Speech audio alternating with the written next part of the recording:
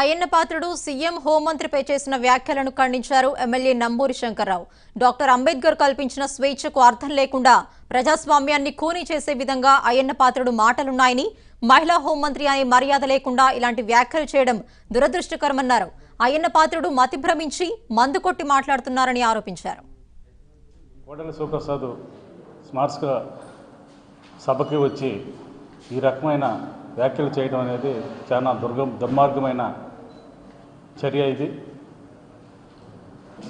గతంలో మరి డాక్టర్ అంబేద్కర్ గారు స్వేచ్ఛ ప్రజాస్వామ్యం అనే దానికి అర్థం లేకుండా ఇలాంటి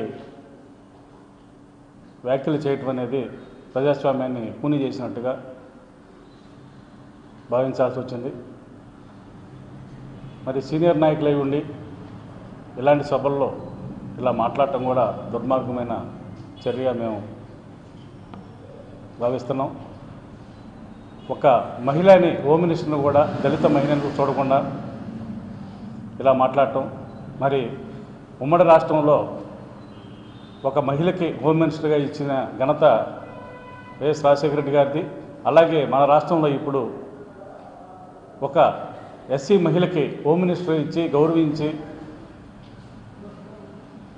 ఇట్లాంటి పదవులు ఇచ్చి మరి గౌరవించే ముఖ్యమంత్రిని అలాగే మరి హోం హోంమంత్రిని ఇలాగా మాట్లాడటం అనేది దుర్మార్గమైన చర్యగా భావిస్తూ ఇలాంటి మాట్లాడిన చర్యలకి ఆయన మీద ఎస్సీ ఎస్టీ కేసు పెట్టి ఆయన్ని శిక్షించాల్సిందిగా కూడా కోరుతున్నాను.